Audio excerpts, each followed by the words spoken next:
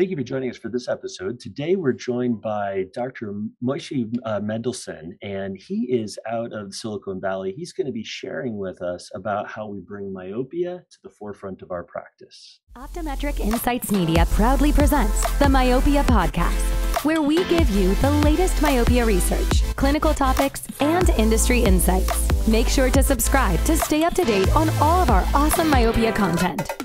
Now to our host, a massive myopia manager himself, Dr. David Kading. Well, thank you again for joining us for this episode today. As I mentioned, we are joined by Moshe Mendelson, Dr. Moshe Mendelson. And uh, Dr. Mendelson has uh, been doing myopia management uh, from before it was even called myopia, it seems like. I'm just kidding. I'm not dating you that long but uh, you know was really one of the forefathers of myopia management and today i kind of want to talk with him about a couple of different uh, different topics but first of all uh, for those of you people who don't know you i mean most people in the myopia space know you tell us a little bit about you and your practice and what you're up to these days Thank you, uh, David. It's a pleasure to, to talk to you and hopefully move the agenda in the myopia management and have more of our colleagues uh, participate in this effort, which I think yeah. is, wonderful.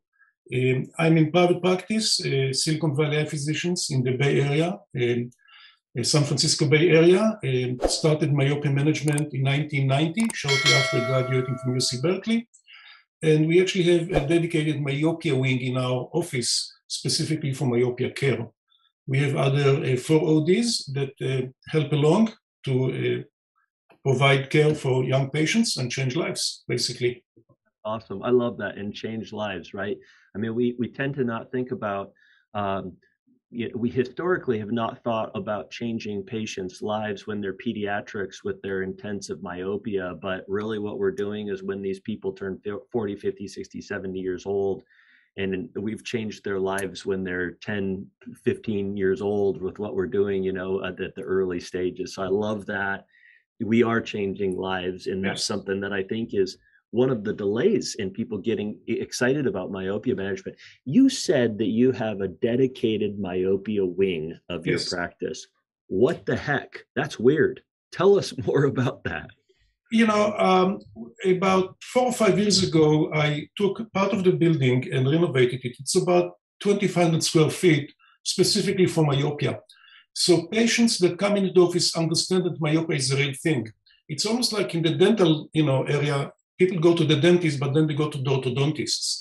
So we basically imply that we specialize in myopia care within our office, and we have dedicated uh, space and technology and staff specifically for this, um, you know, area. Uh, it basically elevates the patient's experience with respect to myopia management and understand it's not just fitting the patient with a simple contact lens and it's a done deal. So it's it's an experience, it's a process, it's a journey that we take together, and it's a lot different than fitting a patient with the, the daily disposable contact lenses, let's say, or just regular right. contact lenses. Right, right. Well, so having been doing this for 30 years, myopia management, like you have since you graduated in 1990 um, or started in 1990, um, as Craig Norman said on my podcast, myopia management is a 30 year overnight success, right? It's all of a sudden becoming something that people are wanting to get into. Yes. For the last 30 years, in my case, the last 15 years, I've been lecturing all around the world on the importance of myopia management. You know, Brien Holden has really led the charge on on getting the word out there, and it's it's becoming a movement, and it's um, I don't know if you've read the book The Tipping Point, but we're at the tipping point. For for people who who don't don't really know what to do and how to get into this, what are some things nowadays that are easier getting into myopia management than they were 30 years ago when when you started doing this? Tell tell us a little bit about how you see this as easier now than it was back then. Excellent, excellent uh, point, David. So when I started, when you started, um, it was a very steep gradient curve to learn how to design the night lenses. It took a lot of expertise, took a lot of expertise and share time. Uh, today, with the MiSight that is FDA approved for myopia management, with the Abiliti that is approved in Canada, and uh, some additional products that are coming to the marketplace, I think it's a lot easier. I, think that if you know how to fit a one-day disposable lens, you know how to fit uh, the MiSight or, or similar products. Um, I also think that um, it's easier because we have better tools and more tools in our possession. For example, many years ago, we could only use the night lenses. Now we have patients on monotherapy or dual therapy. So I have a lot of patients that are on a combined therapy of, you know, the night lenses, the day lenses plus atropine. So we can afford more uh, to our patients. We have a much better handle on preventing uh, bad cases and vision impairment later in life for many of our patients. And I'm reminded of that every day when I have a patient who is minus 10 or minus 12 with myopic degeneration and I say, I wish I saw this patient 20 years ago because they wouldn't be in this situation. Yeah. Yeah. So, what are some tools you think that uh, we have available to us that that we we didn't really have before, and what would you suggest people do to get to get started? I think that uh, there's a lot of support from various companies such as right. Cooper and Johnson and Johnson and Essilor, basically um, educating the parents about why, what, and how, if you will, right? So they basically educate the parents about the consequences of not treating myopia and then mm-hmm. about the tools that are available. So I think these, um, these big companies uh, are very helpful in creating very informative websites that are at yeah. our fingertips that we can use and, and reference and educate patients. So um, in the past, again, 30 years ago, when I would tell patients, listen, we can do, I can do it for you, for your child, they looked at me and said, "Are you serious? I, I don't believe that's possible." But now, is a big company like Johnson & Johnson or Cooper uh, standing behind it, more people have more confidence that this is real, and um, they're going to basically give it more consideration. Yeah, yeah. Now, one of the things that you've you, you've done with within your practice in the Bay Area is you have a website that is is second to none as far as a practice website that really kind of focuses on this. And is this one of the how, how do you get patients? Is your website a big part of that? Um, David, the, the secret sauce is one patient at a time. I have a, I have a lot of ambassadors that. in the community. My previous patients spread the word, right? So obviously you have to have good online, uh, uh you know, online um, presence. But the best promotion is your happy patients, and they go out and um, tell other parents about it. I had a patient the other day, and I, I asked her curiously, you know, how did you find out about us? She says, I went to next door and I saw a name from six different neighbors saying you need to go to Silicon Valley Eye Physician. So, so your happiest patients they are going to be your ambassadors, and the more myopia management you do, the more you'll do. In other words, it's like a snowball because your patients are going to be your ambassadors in the community, and they'll refer patients to you. So I have a little bit of a a little bit of a qualm to say with that, right? So I've been doing myopia management, and just like you, it's the number one way that we get patients to come in the door. Is there, and, and I talk about this word of mouth marketing as being active or passive, right? So I treat my patients well, they're going to send people in. That's true, right? But is there something you can say to the patient that encourages them to say something else? And do you do that from the chair? For example, sometimes when I see somebody who is just elated, right? They're excited about their myopia management. The kid loves not having to wear glasses, or they, you know, get to wear soft contact, or whatever it is. Or the parent is super excited that now we've slowed down the progression. I say to them, hey, if you know anybody with eyeballs we'd love to meet them, right? And the, the little kid stops for a second and then chuckles, right? But that's an active word of mouth request for a referral. Do you do something similar or do you do something to encourage that referral? I should do more, honestly. I'm a little shy when it comes to that. Should. I don't want to toot my, tout my horn. So uh, I think that's excellent advice. Um, my office manager is on me all the time to basically do that, uh, and I think that I can do more of that. That's honestly uh, right. Well, well, uh, well, obviously, the passive word of mouth has worked effectively with you. Mm-hmm. Do you have uh, do, do you have an idea of how busy of a, a, a, of a week this is with myopia management? Right. Some people say, "Hey, I you know I I don't have time in my schedule to see more of these patients." Now I recall when I was first doing orthokeratology years ago, I would I would have to spend tons of time diagnostically fitting or tons of time computer generating a lens that I would, you know, fix all the curves and everything. But for, for me, it's it's a lot faster than it used to be. Absolutely. Right. What are some ways that we can encourage people and say, hey, it's not going to take as long as you think? I think that again, um, you have to make the time if you want to be successful. Um, and it doesn't take too much time again with the new uh, software designs for the night lenses or the newer versions of the day lenses.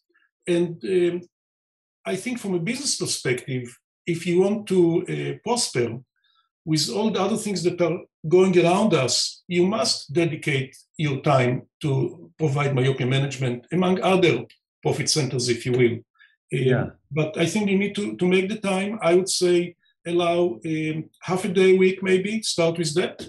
And um, slowly, slowly, you'll see that things are going a lot quicker and a lot more efficient. Uh, what I do, which may be more difficult in other practices, I delegate a lot to my staff. Right. So yeah. I delegate a lot to my staff. I have two NCLEs that uh, work alongside with me, and they uh, basically spend a lot of time with the patients before I even see the patient, preparing the patient, educating the patient, sending information before they come to the office for the consultation. Um, uh, so again, that's the way I do it. I, I delegate Yeah. a lot. Now, I, I, I want to hit on something, and, and that is what happens before a patient comes in for, for a visit. New patient, never seen by you. Hopefully, they've heard something about myopia management, which is the reason they're coming in to see you. What is the important information for them to receive ahead of time? There's too much information sometimes. Yes. Right? So if, if we know that the patient specifically uh, appointed themselves for myopia management consultation, we are going to send them an email that will basically let them know what to expect during the visit. And, and then we are going to hit upon some of the important points that I think are important that we have to keep reintroducing to the patients. So when they come in, they already heard about the hyperopic defocus, they already heard about the consequences of not treating myopia, they already heard about the, the basically benefits of getting rid of glasses or daytime contact lenses. So we send them this information. Sometimes they read it, sometimes they don't. Uh, we also couple it with videos showing, uh, uh, you know, what the practice looks like, what the staff looks like. So when they arrive, they already know us, so to speak. So, um, so if when a patient calls in, we schedule an appointment a few days ahead of time. They'll get an email. It will basically talk about the things we just discussed. We have also a few a few videos that we touch to it because patients sometimes don't like to read, but they take a look at the video and take a look at the photo. You know, it was funny. I just today got Google Analytics, and uh, we uploaded the photo of our you know doctors on the website, and I couldn't believe we had more than thirty thousand views. You know, in one month. So it's crazy. I couldn't believe it. But people No, don't Tell me, tell me more. You have 30,000 views of what? of patients' views on photos that we put on the website. So the message here, David, is people that don't like to read. People are more visual. So if you send a video, if you send a photo, you're going to get their attention. Uh, I don't think they're going to sit there and read for too long. No, no. And if people want to check out your website, it's myopi, M Y O P I, care, C A Care. E. Uh-huh. Myopia care, right? Not myopia care. M Y O P I C A R E dot com. And I would encourage people to check your website out. But you're right, you know, these these images and you know the the the the case studies that you have on here, the testimonials. This is a a, a great example of what a, uh, a practice needs to look like. You've got videos that are on here and so forth. And so I'd encourage people to to go check that out. You've you've obviously had some professional video done Yes. for your website. Mhm. Uh, what was the stimulus for that? Um, we felt that we need to uh, basically get someone who knows what they're doing. And but now we also do a lot of. Uh, I know what I'm doing. I got an Yeah. iPhone right here. Exactly. right? I was, I was going to go to that. So now the last few videos that actually you'll see, uh, and I'll send you the email that I send patients after this call so you can see what Yeah. they're doing. They have been uh, filmed on iPhone. Sure. But there's one more important point that I want to get across with respect to encouraging our colleagues to approach patients and do myopia management or myopia control. So a lot of my kids, eh, my colleagues will say, you know, I saw a child, he's only minus 50, I'm not going to worry about it. The child is six years of age. And I say to my colleagues, yes, he's six years of age now, minus 50, but now I think about this child as a minus seven when they're 17. And I'm going to treat them not as a minus 50, but as a minus seven. And I know that our colleagues are very conscientious and they're going to uh, basically say, this is a minus seven if I do nothing. It's going to be on me if I don't intervene. And I think that's another way to try and convince, for lack of a better word, some of my, uh, our colleagues to pursue PMA management and not just wave it off. It's, it's just a minus 50, no big deal. It's not a minus 50. It's a minus seven if you do nothing about it. Yeah, no, that's so true. I mean, those of us who are doing myopia management, we pull up you know the growth charts and we see that uh, that kiddo who is uh, you know i had a i had a seven year old who was a minus three the other day right um, you know we pull up that growth chart and that kid is going to be a very very very high myope uh, especially if we don't do anything about it but even that minus 50 right what has the historic approach been for a minus 50 patients we'll see what happens. Right. we know what happens. Yep, that's that's what we had said for years is and that has to go away because we know what will happen, right? Yes. We know what is going to happen when a mm-hmm. child is uh, in the 95th percentile for height at six years old and his dad and mom are six five, right? We, we kind of know, right? Yeah. We know what is going to happen in myopia for those minus 50 kids who are minus six or seven. They have a six to seven times greater risk of developing high myopia. And uh, we, we just have to be thinking that. And, you know, I like what you said at the beginning is we have to be moving myopia management to the forefront of our practices and be realizing that this is not just something that we can sit on the, uh, on the sidelines anymore. Yeah. Any, uh, any last tips or suggestions for people who are, uh, who are dabbling or kind of playing around with this as to how they can go all in? Yeah, I think that, um, again, from past experience, uh, don't take upon yourself a very complicated case. Start with the simple cases um, that are going to most likely not take too much of your chair time and give you good success. And this will basically be the, the wind in your sails, and that will encourage you to keep going. In addition to that, uh, the parents of these kids are going to refer patients to you because of the success. Um, so I think that's that's uh, don't say I'll I'll think about it. I'll do it. Just get off your hiney or rear end and just do it. Yeah. You know, that's what they need to do. You know, I, I, I agree with you in some senses, but I think the barriers to entry are far lower than they used to be. I would agree 100% with you if we're doing orthokeratology, which I, like you, I think is our primary method of myopia management. It counts for about 70 to 80% of my myopia management. But if somebody's kind of dabbling and they're thinking about getting in, I would say for your ortho K patients, don't try a minus five as your first. But if you have a kid who's a minus four and is eight years old, nine years old, get them into a soft daily disposable lens like a MiSight or an Atrovue or something you know, consider doing atropine. We've got tools that we can use um, for any age. And uh, you know, if if if you buy an OCT thinking you're going to get into glaucoma, you do that on almost every patient that you know to, to kind of get off off the ground and get running. Oh, and I would really consider getting into myopia management needs to be a let's go for it. Let's do it. If a kid is a myope, we're treating them right and get get right into it and very quickly we find uh, great resources and great tools to make us successful uh, couldn't agree with you more fantastic all right well hey thank you for being on the myopia podcast it's always a, a pleasure to get to hear from uh, people who have been leading the field and uh, and guiding and setting the direction that we're going and uh, you know reach out to you and thank you for all the work that you've done over the years your practice is an inspiration to me and I know to many other people. So thank you for what you do. It was a pleasure, and uh, thank you for inviting me. Yeah, absolutely. And thank you for joining us for this episode of the Myopia Podcast. Make sure to subscribe, like, share it with all your friends, and uh, we'll uh, we'll hear see you next time on the next episode of the Myopia Podcast. Bye bye. This podcast was brought to you by Optometric Insights Media. If you enjoy our content, please leave a five star review and don't forget to subscribe for more great episodes.